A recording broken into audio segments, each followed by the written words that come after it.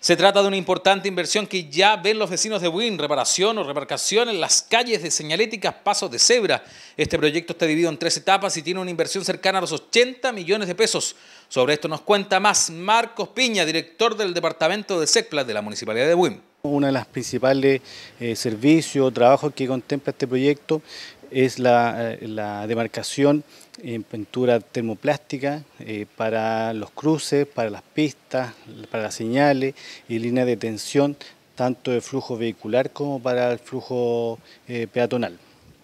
Y el servicio además contempla tres también temas muy importantes para la comuna, como lo son el lavado y la, de la demarcación vial, el aseo y aplicación de pintura, la eh, reposición obviamente de aquellas demarcaciones en mal estado y la inspección visual eh, o la inspección técnica que debemos eh, tener para este servicio.